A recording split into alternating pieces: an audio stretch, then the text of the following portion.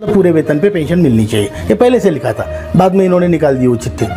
फिर उसके लिए कोर्ट में लोग गए। कोर्ट ने निर्णय दिया था। पेंशनरों के पक्ष में कोर्ट ने निर्णय दिया सुप्रीम कोर्ट ने, कि इनको ये हायर पेंशन क्योंकि वो ज़्यादा पैसे भर रहे तो ज़्यादा पेंशन मिलना वाजिब है। एक महत्वपूर्ण बात मैं बताता हूँ।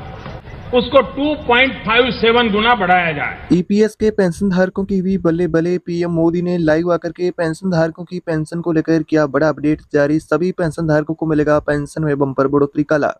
जैसा कि आप सभी E P S ninety five pension धारक है ई पी एफ़ ओ के सब्सक्राइबर है तो आज आपके लिए बहुत बड़ी गुड अपडेट है। मोदी सरकार ने लाइव आकर के पेंशन धारकों की पेंशन बढ़ोतरी को लेकर बड़ा अपडेट जारी किया। साथ में पेंशन का बजट भी जारी किया है, जो कितना बजट जारी हुआ है और कितनी आपको जल्द पेंशन बढ़कर मिलने वाली है तो इनके बारे में आपको बताएँगे इसी वीडियो के अंदर कंप्लीट विस्तार से जानकारी। जैसा कि आप सभी की मांग है कि पेंशन को जो मिनिमम मिलती है, उसको जल्द से जल्द बढ़ाए।